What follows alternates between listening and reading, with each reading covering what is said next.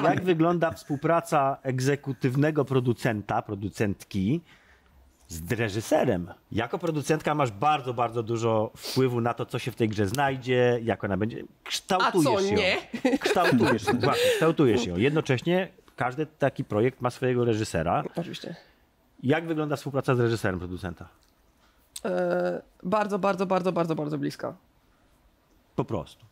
Nie wiem, jak to więcej powiedzieć. Co więcej, e, Czyli zawsze nie ma, tak, nie ma tak, rywalizacji, para, przepychania, Oj. tylko jest to w 100% Znaczy, przepychana, no nie wiem, no każdy z nas ma jakiś swój punkt widzenia i ja bym też tu bardzo była ostrożna w mówieniu o, o że producenta i, i reżysera gry. Tam jest dużo więcej artystów, dużo więcej specjalistów, ogromna ilość dziedzin i jeśli nie będzie każdemu z nas zależało, żeby całościowo to zagrało i To nie nie, będziemy sobą rozmawiać, to to po prostu nie zagra, nie? Każdy z nas musi mieć oczywiście swój konik, ale kontekst, zawsze kontekst i ja bym jednak podkreślała e, to, ale ogólnie tak bardzo blisko i, i rozmawiać i, i szczerość e, i też e, w żadnej właściwie z firm, z którym pracowałam, nie spotkałam się za bardzo z tym, że każdy ma szansę coś po, powiedzieć i dać i po prostu mówisz. No, Mhm. Zawsze jest to kolektywna e, praca, Tak, najwyżej nie- ktoś podziękuje ci za feedback, no nie?